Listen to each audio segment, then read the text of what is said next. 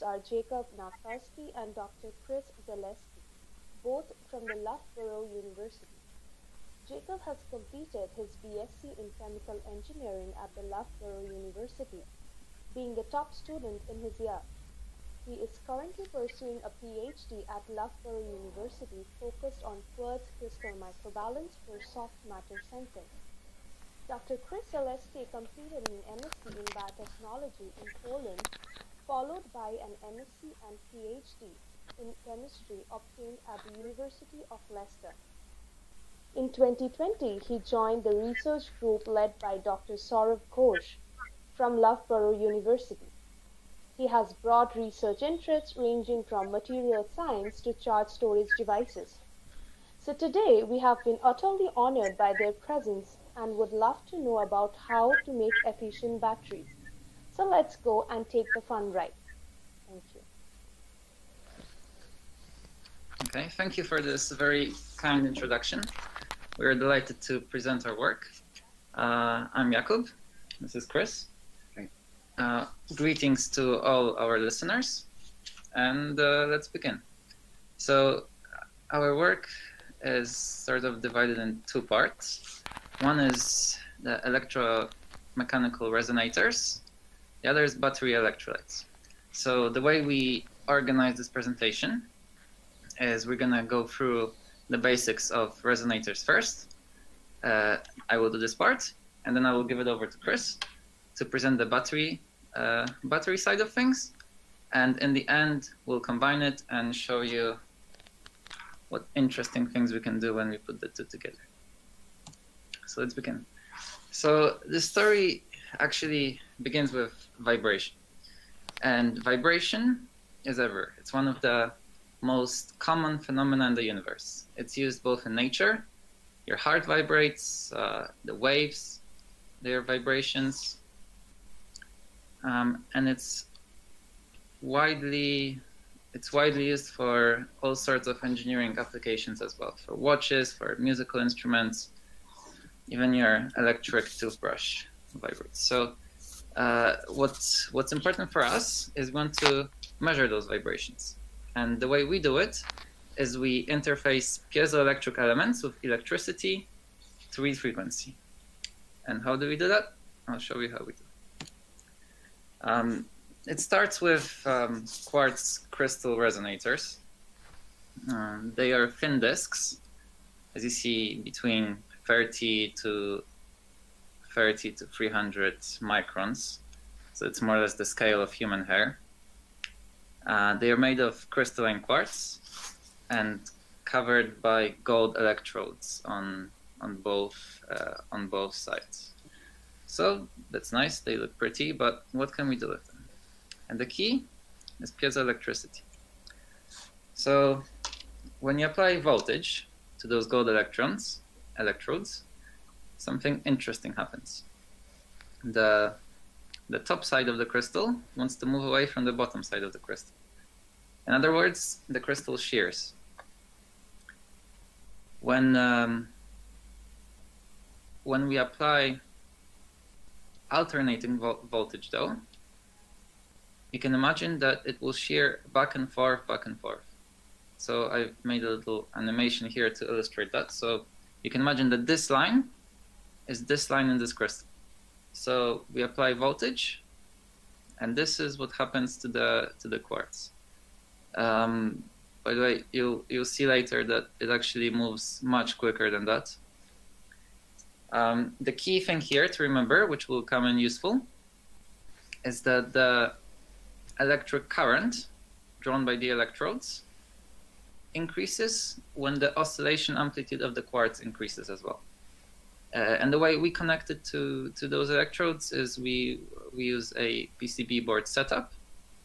Uh, we connect cables, and the, the crystal electrode wraps around. So one, one of the electrodes is connected here, the other electrode is connected so don't be scared. This is just a little bit of um, mathematical background um, to sort of explain uh, where we get the values from. And uh, the basic way to model the, the quartz crystal is is a spring mass damper system for the so for the mechanical engineers out there, I'm sure you will be familiar with this picture. Um, the the spring, the st the stiffness models the elasticity of the quartz. The C, this is the damping, models the friction. So this is both external and internal friction. Uh, and uh, uh, just simply applying Newton's um, Newton's second law. Um, I'm trying to. Yes, uh, we get uh, we get this equation. And in vibration mechanics, what we like to do is, uh, is, is, is, use those constants omega, which is the natural frequency, and gamma, which is the width of resonance, as I'll show you later. So using those constants, plugging into this equation, we get this, which is a second order linear differential equation. And the solution to this is a simple harmonic motion like this, um, just a sine wave, uh, with an amplitude A, and the omega, the frequency of the sine wave, you see, it's exactly the same as the frequency of the force. So, so the force wants to force itself on the mass, and the mass has to move with the same frequency of the force with some sort of amplitude. And um, this amplitude, as you see here, it, it depends on the, so omega zero, this is the natural frequency of the system, it doesn't change. And omega of the force, we can sweep it. So, it, so as you see, if the frequency of the force is close to the natural frequency of the system, the amplitude, the amplitude increases. That's resonance. So, so, so this is the phenomenon that you might be familiar with, uh, vibrating bridges and uh, that sort of things. Um, and another thing that influences the amplitude as you see, is the gamma. So that's related to friction. And you can see it on this graph with um, here are presented in terms of the quality factor. So you, you, can see that when the gamma is big, the quality factor is small. So with big gamma, small quality factor, the, the peak is very small. With uh, small gamma, big quality factor, the peak is very high. So that's that's quite intuitive. That the more we the more friction we apply, the the less amplitude it's gonna be.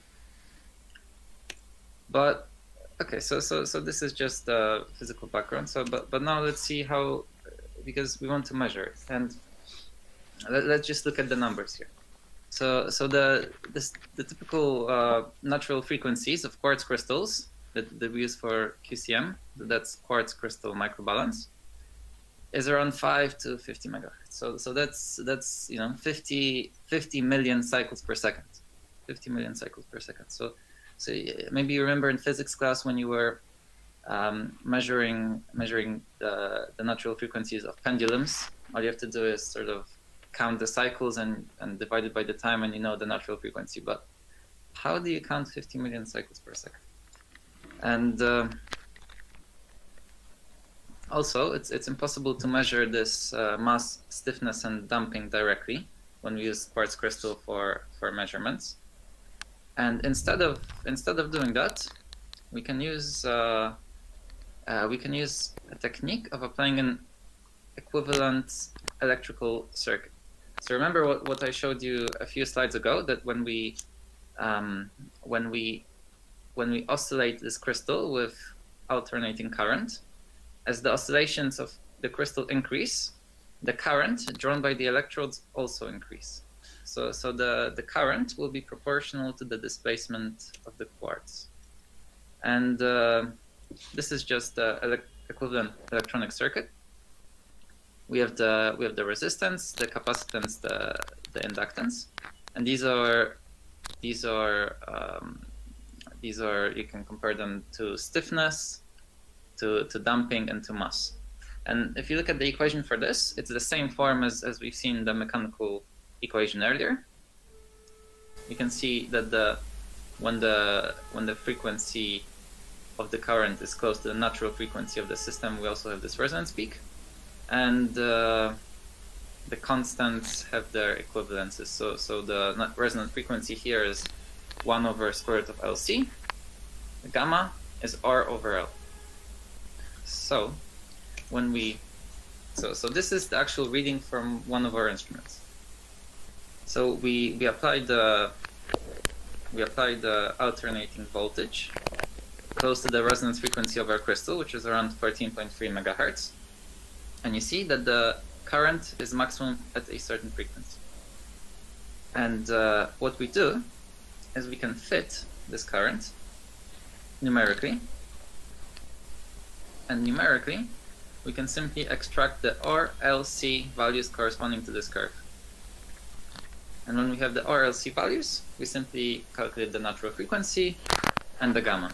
So just to summarize those uh, last three or four slides, if you were a bit lost, that's all you need to know for the rest, for the next part. And also, um, an important thing to note, this gamma, which is this R over L, corresponds to the width of the resonance peak at half of the power. And in, in vibration mechanics, or in QCM at least, what we prefer to use is gamma, the big gamma, dissipation. And this is just the small gamma divided by 2. We call it the half bandwidth. So you see that here in measurements later. Okay, so that's um, that's really nice. We, we've established that uh, we have those quartz crystals which, which oscillate at really high frequencies. We can measure them you can measure them by by interfacing them electronically but uh, as engineers we're always interested in how we can apply this or more specifically how we can apply this to solve complex problems and get simpler answers so let's look at this so consider um, consider deposition of very thin metallic layers. That's that's often used in electrochemistry and other industrial applications. So say for some reason we want to deposit copper on gold. And the, this copper deposition is maybe 100 nanometers uh, thick. And if, if you ever use one of those micrometers, you know it's quite difficult to measure 100 nanometers. But what we can do instead is um, this deposition on a quartz crystal. And while the deposition, the deposition is happening, we can measure the frequency parameters of the quartz. So we can keep doing those frequency sweeps. We can keep fitting the fitting the uh, the vibration properties and see how the natural frequency and dissipation is changing.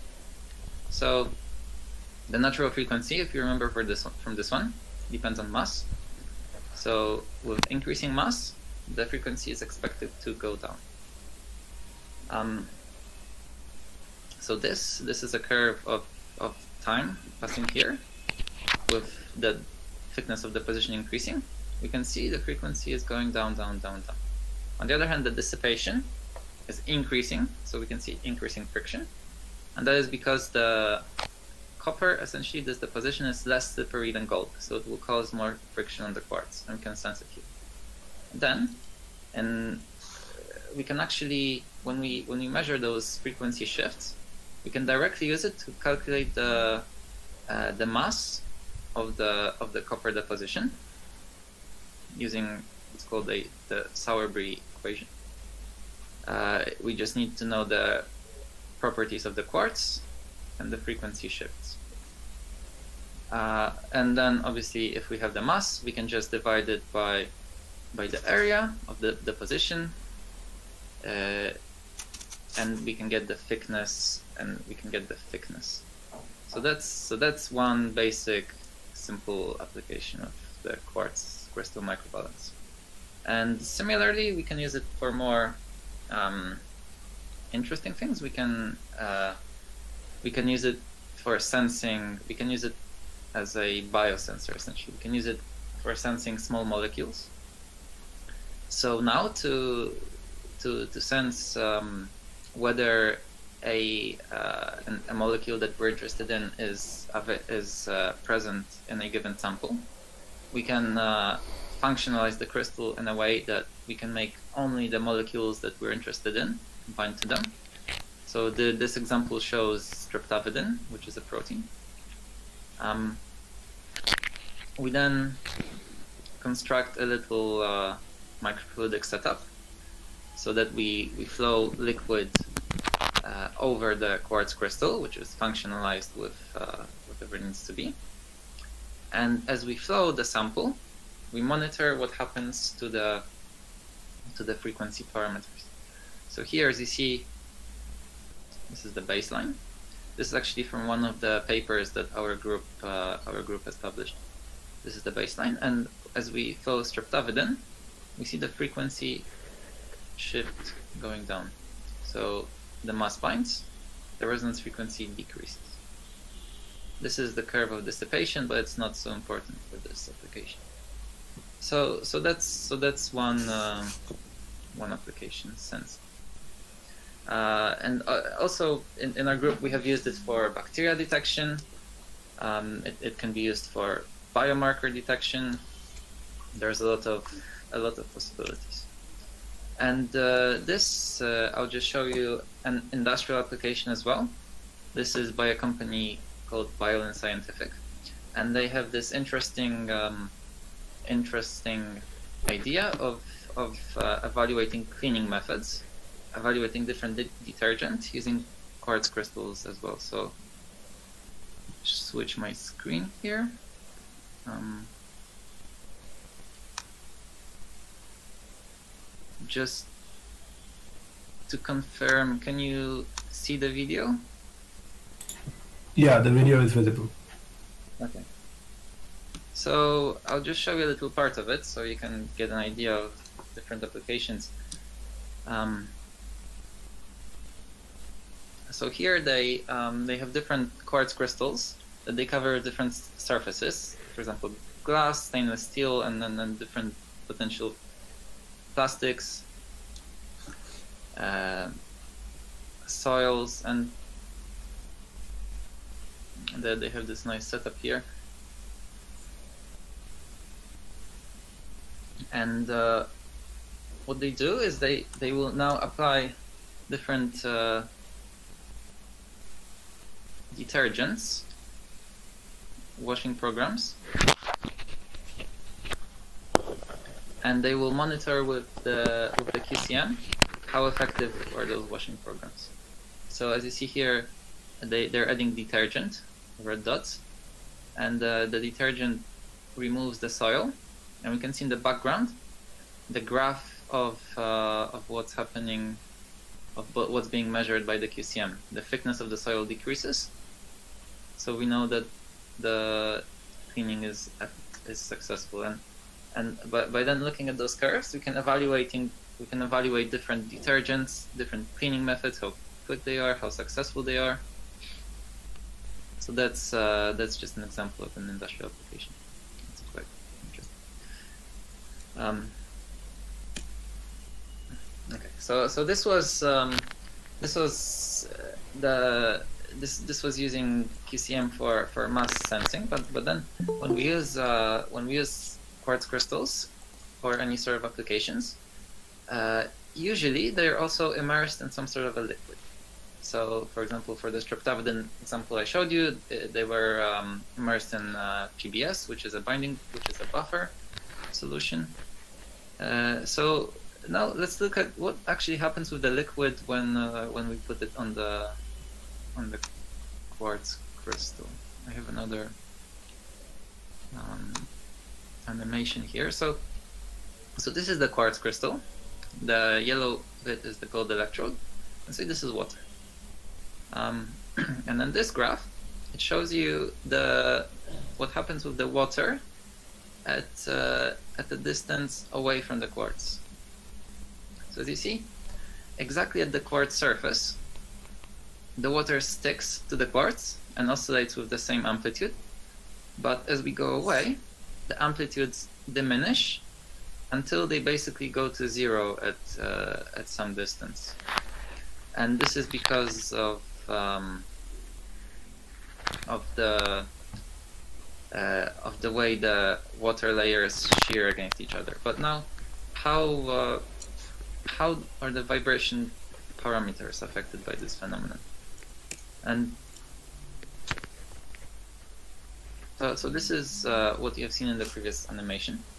The, this, the velocity of the water decreases with height, and uh, this was measured by uh, by Kanazawa. That's why at, at one Kanazawa unit, we say that uh, the amplitude of the water has increased, has decreased, uh, has decreased by e times. So that's it increased, decreased by 60, around 70 percent. And this Kanazawa unit, it's dependent on the viscosity of the of the liquid uh, and uh, viscosity, the density, and also the frequency of the quartz crystal. And for uh, for 14.3 megahertz quartz crystal with water, this distance is only 140 nanometers. So when you go farther away from the surface, the water is not affected. And uh, well, how, how the vibration parameters are affected is the resonance frequency decreases because there is some mass coupling of the water with the quartz because uh, as you've seen on the surface the, the water moves with the crystal so the, the crystal sees it as additional as additional mass moving um, and there will also be additional dissipation because the the the water layers they're shear against each other. So the the, the energy is dissipated it's lost. And the interesting thing is that the the actual the the half the, the gamma the increase in the in the dissipation is the opposite of the decrease in frequency. So you can see how the dissipation how the how the how the dissipation is is related to to mass coupling. And I would I'll, I'll just show you by a simple example using two different liquids of different viscosity here I used ethanol and water uh, this is the little setup um, so we we pump the, the liquid for a microfluidic setup over the quartz. And uh, first uh, we pump water, we take some scans, then we pump ethanol, take some scans and see what happens. And uh, if you remember the uh, resonance curves, this is the current drawn by the electrode, this is the frequency, this is the drive voltage frequency. The, the blue is the frequency of the water. The is the curve for the water. Orange is ethanol. So because the the viscosities are quite similar as you see here, it's only slightly larger for water.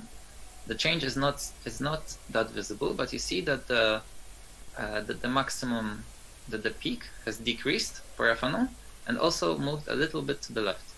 So that's shown here. The resonance frequency fell from those those first two scans are water, those second two scans are ethanol. And the frequency decreased. Gamma, on the other hand, the dissipation increased. And, and, and as you've seen in the previous Kanazawa equation, that the frequency shift should be opposite to the gamma shift. And if you look at the numbers here, they are almost exactly opposite. So that's a that's that that's how the that's how the liquids influence the the vibration parameters. And and by the way, those changes will be different. This is for Newtonian liquids.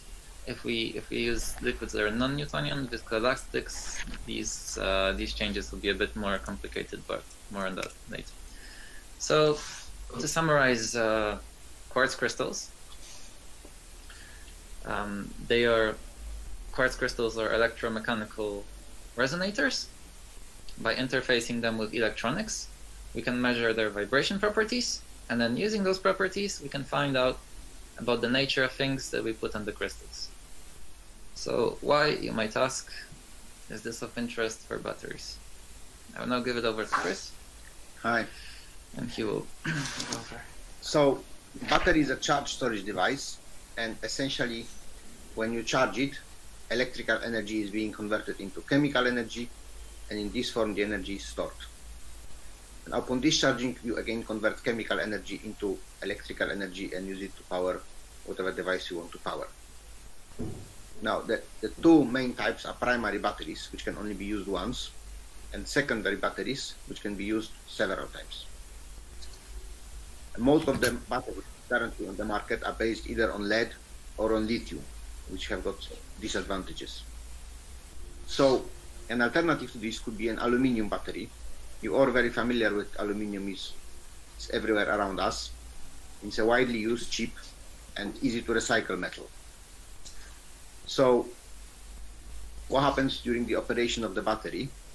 Ions travel between the anode and the cathode. Yeah? But obviously, ions, apart from charge, do have some mass. So it's essential for us to measure mass.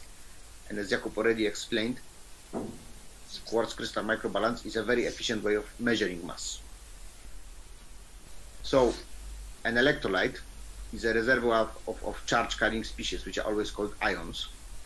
The cations and anions, their total charge is always equal when the battery is in the in the stable state. An electrochemical window is a potential range within which the electrolyte can safely operate, and if you exceed that, the battery will start to degrade. So this would happen, for example, if you overcharge your battery, it might eventually explode because you exceeded the electrochemical window. So this is a very important parameter of, of the electrolyte. So most of the batteries currently on the market have got what is called classic electrolyte. So for example, in your car, most likely you have a battery which is filled with aqueous based electrolyte, which is basically diluted sulfuric acid. Now they do have some advantages, like high conductivity, but they are corrosive, like sulfuric acid one. The propylene carbonate based electrolyte, which is used in lithium batteries, is flammable, and they're all prone to leaks. On top of that, they have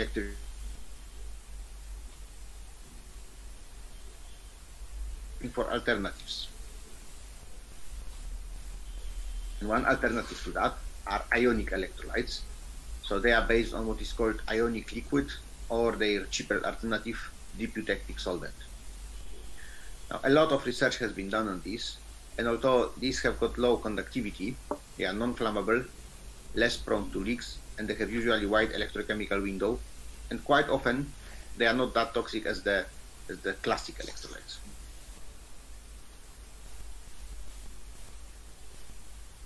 Now, when we want to study a battery, we need to apply some electrochemical methods. So, first thing we need to know about the battery is the electrochemical potential. So, for example, if you buy a battery which is one and a half volt classic AA battery, its electrochemical potential is quantified using the Nernst equation. So that's how people know what type of materials in the anode and in the cathode and in the electrolyte will give you specific potential for a battery. Now, if you look at this equation on the left briefly, you'll see that there is a value F, which is the Faraday constant, and this is charge present in one mole of elemental particles. Now, mole essentially is mass. So to properly study electrochemical systems, one needs to measure mass. Hence the application of, of quartz to, to do that. So very often, when people want to study electrochemical systems, they use technique called cyclic voltammetry. And essentially, you can see in figure 8, this is an application of a potential gradient. So you apply rising and then decreasing potential to your electrode, and you do that in cycles. And you observe changes in current. So what you apply is in the figure A, and what you see is in the figure B. You see how your current changes over the potential. And depending on what you have in your system, you'll get several different, what they called voltammograms. So then people combine both of these techniques, so electrochemistry and and QCR methods, and the result was what is called EQCM, so electrochemical quartz crystal microbalance. Essentially, when, when people do cyclic voltammetry, they usually use three electrode system, where working electrode is where all the reactions take place, counter electrode is an inert electrode and reference electrode provides a reference potential which is then compared to standard potentials of, of other systems. So that essentially reference electrodes provides you with zero point. Yeah, so you know that your uh, when, when, you know the zero, you can measure the potential of your battery, and then you know that this battery gives one and a half volt, or three volts, or nine volts. And in the technique called EQCM, crystal acts as an electromechanical sensor, which allows us to measure mass and viscosity, and it's also a working electrode. So you basically do all your reactions on the crystal and measure mass and viscosity changes occurring there. And then mass and charge data, and charge is current multiplied by time. These are used to calculate what is known as transport number. So transport number essentially is proportion of anions and cations being exchanged, and it's always one. So if a cation transport number is 0.6, then anion is 0.4. And calculation of transport number is of utmost importance when optimizing the performance of any electrochemical device, not only a battery. And mass changes on the electrode are compared to Faradaic mass. Now, Faradaic mass is a mass that would be exchanged if all the electrochemical reactions taking place in your battery would be 100% efficient. So essentially, if your battery is efficient and you start charging it, all of the current would be used to contribute to mass changes at, at your electrode. Now that doesn't really happen in real life, but you can see here some some electrochemical reaction where on the left you have pure electrochemistry, so essentially oxidation and reduction. And on the right you can see the associated mass changes and viscosity and, and mass changes and this mass change is compared to the Faradaic signal. So so Faradaic mass is not something that was measured. This is mass calculated purely from the current. This is under the assumption that your electrochemical reaction is 100% efficient. And you can see that for this particular system, almost all of the uh, electrical energy was converted into mass changes. You can see in the, uh, in the, in the last cycle, the agreement is almost perfect. And pretty much entire electrical energy was used to contribute to mass changes. So, what exactly happens to the crystal when you when you do the what is called the redox reduction oxidation cycle? You can see that this is the oxidation state, and now we're going into reduction. So, again, this is an oxidation, and peaks are sharp because there is no load on the crystal. During the reduction cycle, metal deposits on the crystal surface, viscosity increases. So there is a very significant damping effect, which Jakub already mentioned. And there is hardly any frequency reading. Again, going back to the empty crystal. Yeah. So you can see these are several cycles, and that's how the data in the previous slide was obtained. So this is an empty crystal. All metal was oxidized and removed from it. Now metal was re reduced on the crystal. So also the uh, the interesting thing with this one is that we cannot um, um, what I talked about earlier about the the, the frequency, the mass binding and the and the dissipation increasing. Here we have we have both. We have we have mass binding and dissipation, and then we have to model it to to to, start, to determine which which which shifts are due to dissipation and which uh, shifts are due to mass, so we can accurately uh, determine the we can ac accurately determine the transport numbers. So that's that's that's uh, part of the work which we are working on right now. So. So also what one has to consider is something known as dendrite growth. Now, this is this is actually something you guys are all probably heard at some uh, at some point. So, basically, because not all of the electrical energy is used into efficient mass changes and the movement of ions, what sometimes happens, dendrites, which are like sharp metal spikes, can grow on the surface of the anode. Now, what happens then? is the dendrite grows and connects anode and the cathode, essentially you get a shortcut and that causes battery fire.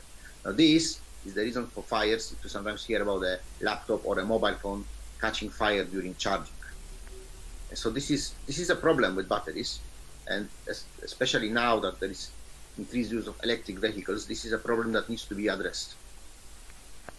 So quartz crystal microbalance can be used also to observe the growth of dendrites, and this is something we currently also work on.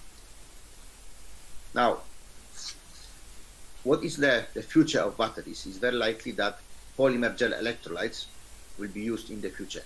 And these are highly viscous substances where where ionic electrolyte, like the ones I mentioned before, is mixed with a polymer.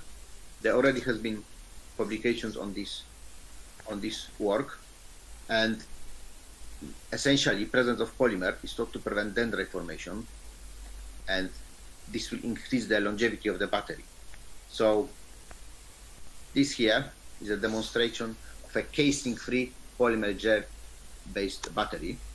Now, what is interesting about that battery that here the thick polymer holds the battery as a cylinder with anode and cathode being being immersed in it. And this is only wrapped in a plastic foil to, to hold the battery together.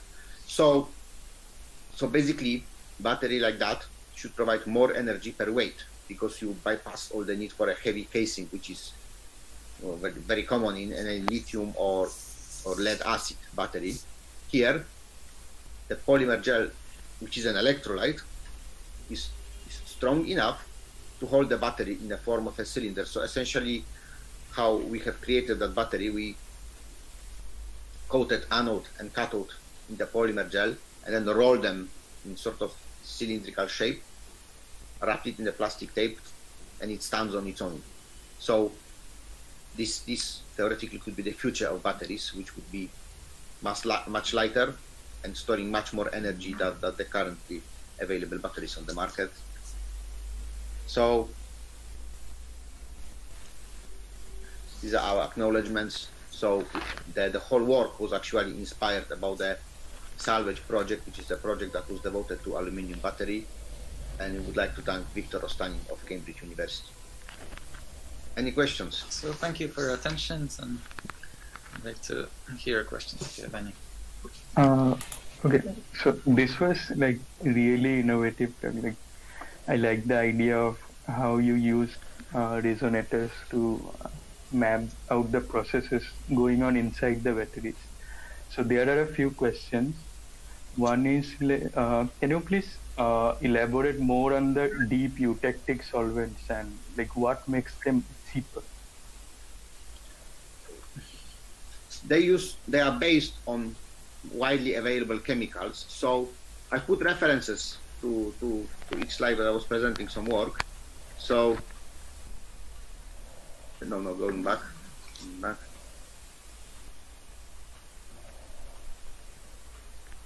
So I suggest you read that reference here. This is this is basically the reference to that eutectic solvent which I have shown in this publication. And deep eutectic solvents were conceived, I think, in 2002 by Professor Abbott, and this this is a paper from his group. And you can see that this particular deep eutectic solvent is based on urea, which is essentially a fertilizer. So, so the whole the whole point of using deep eutectic solvent is that they are based on widely available and affordable and usually safe materials. So they beat other electrolytes first in the term of cost, and that is quite important if you want to apply these electrolytes on a on a wide scale. Uh, so uh, I would like mm, about that. Uh, like, how can QCR be commercially used? I mean, in batteries, you can use it to check the formation of spikes, but if batteries are commercially sold, like will QCR be fitted inside it and the users can check it out because the users might not be conversant about the, I mean, the thing which is going on inside the battery, right? Or does it have to be used by experts uh, occasionally to check? Well, this is used in fundamental studies. So you use you use the QCR to study the battery systems until you develop a system where you see that that the formation of, of dendrites does not occur or is minimized as much as possible. Yeah, so so the so the QCR is not actually used by uh, the end users of the battery. It is used by uh, by engineers and scientists uh, in the development stages of the of the battery. So so the, so it's used for testing different uh, different electrolytes, different uh, different configurations. Um, it's used it's used as a development tool. So the so yeah so so so that's the this application of QCR and but but QCR also uh, if you're interested in you know general applications as, as I shown earlier sometimes it's used in in industry to um, you know to monitor uh, to monitor cleaning to to to um, to test the uh, contamina- contamination of, of, of different um, uh, of different liquids and also it can be used in the medical industry for for diagnosing uh, for diagnosing um, diseases.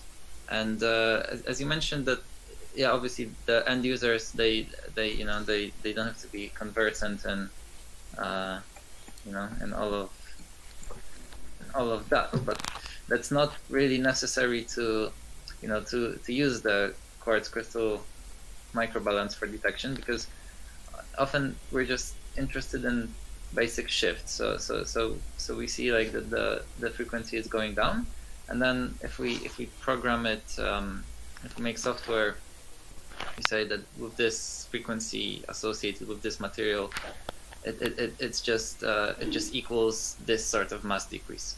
So so for for actually commercial purposes, the the quartz crystal can be uh, quartz crystal resonators can be really simplified and make and made uh, made pretty intuitive. Okay. And so uh, in that piezoelectric sensors, we are using gold electrodes, right? So can we like why do we use gold? Like can we use a cheaper variant because it might make make it more costly? I I don't know about the if it is very small, so it might be cost effective, but well, the most commonly used crystals are coated by gold, and you can have them coated by other materials. Uh, the thing is, gold is usually quite resistant chemically, and that's why we use it. Also, it's a good conductor of electricity. But you are right, quite often platinum or molybdenum coated crystals are used, and these are also used in electrochemistry, not to, to, to study different systems.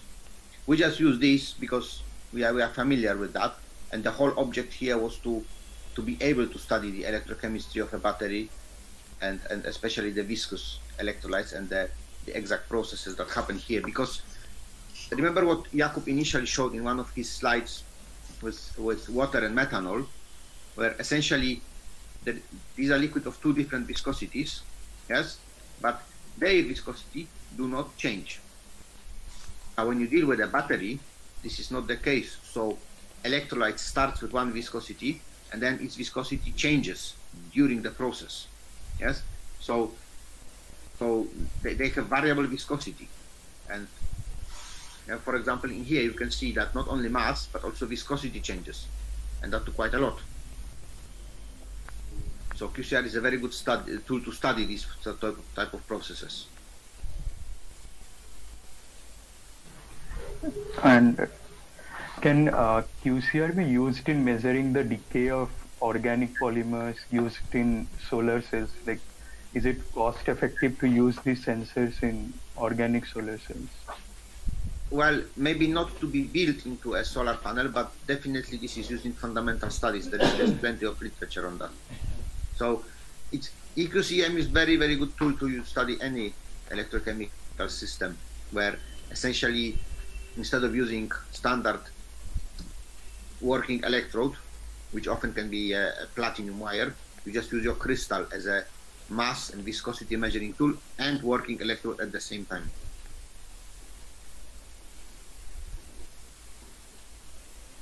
Uh, can you explain the significance of that Kanazawa unit? And because yeah, um, I'll show you. That's that's a very interesting uh, part of the vibration theory. It's, when I learned about this, um, quite amazed at how it uh, how it works out. So uh, I'll try to go. So so to actually get to this, there's um, uh, there's there's quite a bit of derivations uh, to go through, so I didn't include it in, in this short presentation. So if you want to actually look at the details, if you just uh, search for Kanazawa, uh, for Kanazawa, Kanazawa's original paper, I think this was in 1985, you, will find all the derivations. But I'll try to give you maybe a basic intuition for it. So, so, so, so, I'll, I'll, just show this again. So, so this is the basic. Uh, so this is the basic fact of what happens. This is the basic fact of what happens when we put water on a, on a resonating crystal. So it, it doesn't slip entirely at the edge. It doesn't slip. It moves exactly at the same speed of the crystal. But then, because water, you can see it as sort of layers layers which uh, which shear against each other, and um,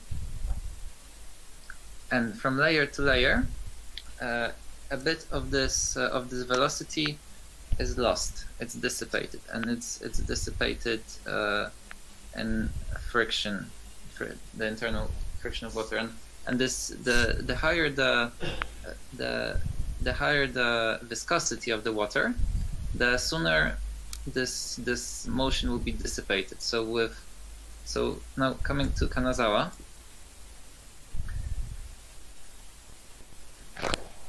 You see this Kanazawa unit. It depends on the it depends on the viscosity viscosity of the water. So so with um, with large viscosities, the this um, this Kanazawa unit. Uh, sorry, I may have confused a bit before, but with large viscosity, this Kanazawa unit actually increases. So so let's imagine say something is very uh, very small viscosity, like uh, like close to a gas, right? Like air.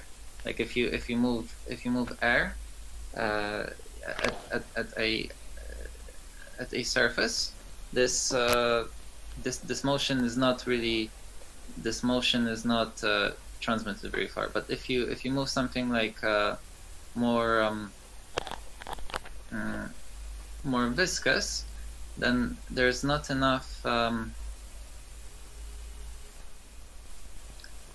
then then this dissipation will go will go further and and and, and also what is intuitive you, you see it, it, it's dependent on the frequency frequency of oscillation. So if you imagine the if the crystal moves very quickly, the the water doesn't really have time to to follow this crystal. If it moves slowly, it, you can say if, if it if it would be just be moving a, a plate very very slowly, a lot of the water will be moving with the plate. But if we change the direction back and forth all the time, then it, it has moved a little bit, but then it cannot it cannot it cannot go back. So with increasing frequency, this uh, this Kanazawa unit decreases, and and it just tells us it it, it, it just tells us um, how um, how quickly this this motion will dissipate. So with uh, with larger Kanazawa units, uh, this this motion dissipates uh, farther away from the surface. With smaller Kanazawa units,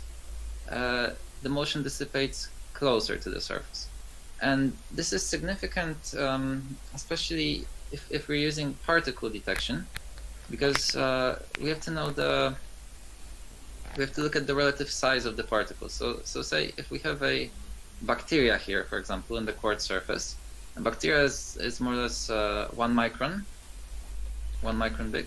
So that's that's that's almost that's around eight times the Kanazawa unit. So so only a part of this bacteria, if we put it in, in water, will be uh, will be um, will be influenced by the moving by the motion of the water, and the majority of the bacteria will be stationary. So that, that's just things we have to consider. We, we look at the Kanazawa unit, how how the how far is water the water is moving, and then um, depending on um, what we're trying to sense, we have to see what the what the physics will be. So I, I hope this sort of answers your question. Yeah, that's a really great ex uh, explanation. Okay, so I will just ask a small mathematical question. In that formula for uh, finding the mass from natural frequency. I mean, omega equals to root over k by m, right? So, So, yeah, yeah, this one, yeah. Yeah. So you are using this to find out the mass, and uh, so I mean to say that if there are more than one layer of material, they will have different stiffness, right? So you have, do you need to account them in the formula? Like gold will have a different stiffness than quartz, say, or copper. So will it lead to any like error? I don't know. Like, do we need to account for that? Yes, they, they will have um, they will have different stiffnesses, and uh, we we cannot really. Um, it's it's very difficult to do an actual mathematical model for uh, for every situation that we encounter. So so I mean the idea of this is is we do a model which uh, sort of sums up all those stiffnesses, all those dissipations, and uh, sort of averages them out. So so so this is the the stiffness. I mean be, because the majority of the of, of, of this influence will be the will be the the quartz itself, the the stiffness of the quartz itself. But then depending on what what we put on the quartz, this uh, the the motion will be will be slightly changed, and uh, we then assume as the change of this motion uh, is, is is is modeled by by this uh, generic uh, generic expression, and and that's that's pretty much that's the simplest one we can use for um, for this sort of resonate resonators. That's a that's a linear model. Sometimes we can try if, if, if we say because that's all linear. If we if we think that the nonlinear effects are are significant, then we can try to make more complicated models. But for for you know for our applications. Um, this this tends to be enough and and also often in i mean in, in quartz crystal microbalance we're, we're not interested in absolute values we're uh, we're more interested in changes so yeah so so just here like just a simple a simple mass uh, detection. We so so this is a, frequency offset from some values. And we don't need to know the we don't need to know the absolute um, frequency. We just have to know what what will be the change what will be the change of the frequency um, with binding but also if you want to know more about uh, why we can use this because I showed you this uh, Sauerbrey equation that, that that you see that the mass is only proportional to frequencies, and it, it, involves some approximations. As you said, we cannot we cannot because things have different things have different uh, things have different stiffnesses and so on. But uh, this approximation it, it, tends to be very accurate for, for rigid binding and for small uh, for small for small thicknesses. So if, if you want to see the exact uh, you know derivation and, and, assumptions in that you can also search for Sauerbrey's original publication. And then you can go more yeah. yeah. I think that's all the questions we have right now. So I will ask campus radio to take uh, thank you. Yeah thank you Surjit for handling all the questions. And uh, we have a few general questions which uh, which is on the mind of everyone the first question is what uh, you know, like what was your motivation to, uh, you know, work on this area, or what, uh, in a way, made you interested in this uh, this specific problem? If you could uh, tell us about that a bit. So I previously worked on battery development program, which is which is described in the acknowledgement slide, and and that that prompted me to to work on the, the fundamental study of how exactly the mass and viscosity changes during the, the redox cycle, which can be imagined as a charge-discharge cycle of a battery. And you need to know this if you want to to understand what's going on in the inside of the battery. to construct a better prototype and then and then hopefully that goes into the mass production so because there is now a lot of drive towards electric vehicles and a lot of the personal devices now that we use I use I use batteries and there's there's increasing demand on lithium. Other alternatives need to be found need to be found and aluminium is one of them. So this can be applied to many other systems. It's just that uh, batteries are now hot topic because of the demand. So yeah so so for myself uh, you asked what uh, sort of got me into this this work. Um, when I was um, starting my my PhD I was um, mostly focused on um, medical applications of those sensors. I, I wanted to um, use them for for biosensing. I, I, I, because I see myself maybe working in the future as uh, in, in the medical uh, technology industry. But uh, with the with the fundamentals, and, and, and, and still that's actually my main line of work. Um, but with the fundamentals uh, of, of vibrations um, that, that I have learned, uh, I can now apply it to to different uh, to, to different things. And, and for example, this this um, this battery electrolyte work is one of them. So I've met Chris, and Chris was really interested in batteries, and he sort of got, got me involved in this uh, in this whole project, and that's how that's how it started for me. Great. Uh, thanks a lot for sharing that. And uh, the last question of the session would be, uh, what advice would you like to give as established scientist yourself? What advice would you give to undergraduate students who are interested in pursuing research?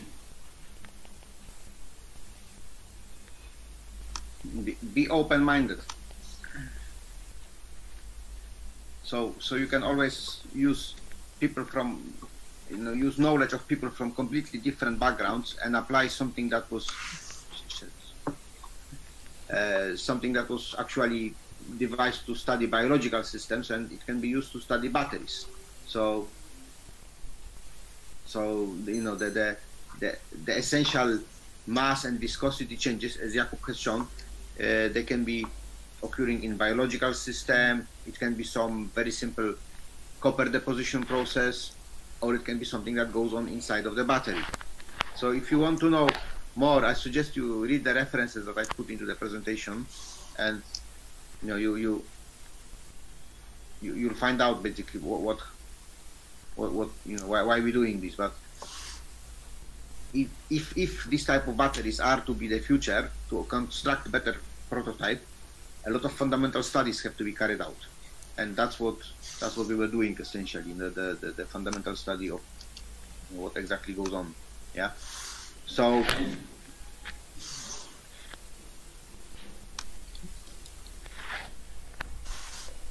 that, that was our main motivation.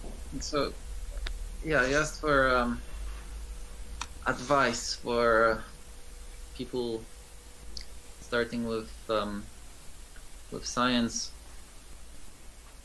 I haven't honestly I haven't really thought about um, this for too long yet because uh, up till now I was the one usually asking for um, for advice, but um, yeah, one thing I would say maybe if you're um, when you're when you're beginning with um, with, uh, with scientific work, not not only not only uh, not only PhD projects, but also also undergraduate projects. Um, it's uh, it's really helpful to, to sort of focus on the on the fundamentals on, on scientific fundamentals, like really going deeply into into physics and mathematics of things and uh, and and just go really slowly with that. Just go really slowly un- until you really have an intuitive understanding of of concepts. And um, what what what this does is it is it gives you really great power to to then um, to then apply your really fundamental knowledge to to to a variety of different concepts which which uh, on the you know and on, on the outset may seem to be may seem to be unrelated. So, so, so I would say that that's that's a really good uh, that's a really good mindset to have. That once you learn something, you know, keep asking your, yourself questions. Try to go deeper.